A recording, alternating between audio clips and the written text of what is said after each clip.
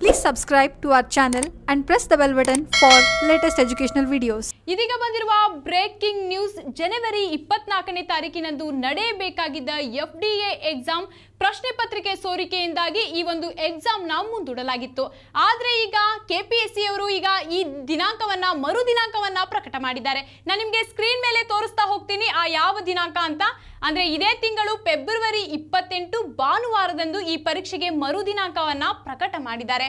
ಪ್ರಕಟಣೆ ಆಗಿರ್ತಕ್ಕಂಥ ದಿನಾಂಕವನ್ನ ನಾನು ನಿಮಗೆ ಝೂಮ್ ಮಾಡಿ ತೋರಿಸ್ತಾ ಇದ್ದೀನಿ. ನೀವು ಸ್ಕ್ರೀನ್ ಮೇಲೆ ನೋಡ್ತಾ ಇರ್ಬೋದು.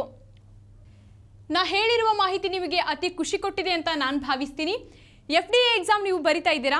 ಅಥವಾ ಎಫ್ ಡಿ ಎ ಎಕ್ಸಾಮ್ಗೆ ಸಂಬಂಧಪಟ್ಟ ವಿಡಿಯೋಗಳು ನಿಮಗೆ ಬೇಕೇ? ಹಾಗಿದ್ರೆ ನಮ್ಮ ಚಾನಲ್ಗೆ ಲೈಕ್ ಮಾಡಿ, ಶೇರ್ ಮಾಡಿ, ಸಬ್ಸ್ಕ್ರೈಬ್ ಆಗಿ ನಾವು ಹಾಕುವ ಪ್ರತಿಯೊಂದು ವಿಡಿಯೋಗಳನ್ನ ನೋಡಿ ಇದು ನಿಮಗೆ ಉಪಯುಕ್ತ ಅಂತ ಹೇಳ್ತೀನಿ.